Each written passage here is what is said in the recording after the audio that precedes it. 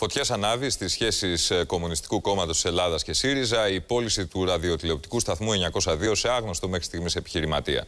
Μέσω του ΣΚΑΙ, ο κοινοβουλευτικός εκπρόσωπος του ΣΥΡΙΖΑ Δημήτρης Παπαδημούλης ζητεί εξηγήσεις από τον Περισσό, ενώ ο πόλεμος επεκτάθηκε και στην αρθρογραφία των κομματικών εφημερίδων των δύο κομμάτων με φαρμακερά άρθρα.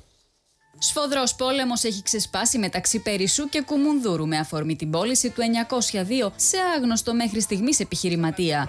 Με δηλώσεις τους στον Σκάι, ο κοινοβουλευτικός εκπρόσωπος του ΣΥΡΙΖΑ καλεί το Κομμουνιστικό Κόμμα Ελλάδος να δώσει εξηγήσεις. Η ηγεσία του Κουκουέ για τρίτη συνεχή ημέρα αποφεύγει να απαντήσει σε ποιον πούλησε τον 902, πόσο τον πούλησε, αν είναι σωστό μια άδεια που την πήρε τζάμπα ως κόμμα να την πουλάει στην πιάτσα και τι αποφάσισαν για την τύχη των εργαζομένων. Οι ιδιωτικοποιήσεις επιχειρήσεων και η πώληση κομματικών σταθμών δεν χωρά δύο μέτρα και δύο σταθμά. Από την πλευρά του, το Κομμουνιστικό Κόμμα Ελλάδος, με μια μακροσκελέστατη ανακοίνωση, επιχειρεί να δώσει εξηγήσεις για την πώληση του 902 και υπεραμείνεται της απόφασής του. Η πώληση αφορά υποδομές, μηχανήματα και αυτοκίνητα της εταιρείας.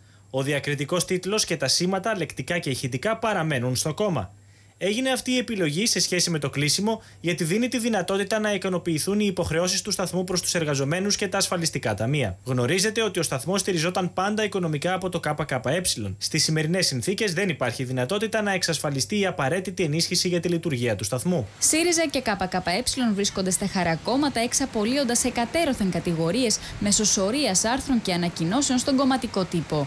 Σε άρθρο της η εφημερίδα Αυγή υποστηρίζει πως το ΚΚΕ αναδεικνύεται σε εμφανίσεις συστημικό κρίκο, ενώ ο ιστότοπος iskra.gr επανέφερε την πρόταση ανεξάρτητων αριστερών δημοσιογράφων να λειτουργούσε ο 902 ως κανάλι όλης της αριστεράς. Α αλλάξουν πλευρό όσοι οραματίζονται ένα κομμουνιστικό κόμμα Ελλάδος Σούπα, απάντησε ο Περισσός μέσω του 902.gr. Ποιος μεγαλοκαπιταλιστής διαθέτει τουλάχιστον 10 εκατομμύρια ευρώ ετησίως για να συντηρεί τη συχνότητα; Προφανώς δεν την αγόρασε για λόγους ελεημοσύνης προς το ΚΚΕ. Θέλει να κάνει πολιτικό παιχνίδι. Προφανώς εις βάρος της αριστεράς και ειδικότερα του ΣΥΡΙΖΑ, που αυτή την περίοδο στοιχιώνει τους εφιάλτες των τροϊκανών κυβερνώντων. Η εκποίηση του 902 έχει πολιτικές ουρές. Ακόμη και η μεθόδευση για τις απολύσεις των 48 εργαζομένων με το κόλπο της κινητικότητας αποδεικνύει πόσο καλά και γρήγορα μαθαίνει το ΚΚΕ την αστική νομιμότητα. Ή είσαι με το ΣΥΡΙΖΑ και την αριστερή κυβέρνησή του, ή αυτομάτως τοποθετήσει στο στρατόπεδο των μνημονιακών δυνάμεων και είσαι κρίκος του συστήματος. Τα ίδια ουσιαστικά έκανε και το Πασόκ πριν μερικά χρόνια. Συνειδήσεις και συνειδήσεις τσάκισε το δίλημα Πασόκ η δεξιά στις δεκαετίες του 1980 και του 1990 και μετά μετρούσαμε κοψοχέριδες, προδομένους και απογοητευμένους.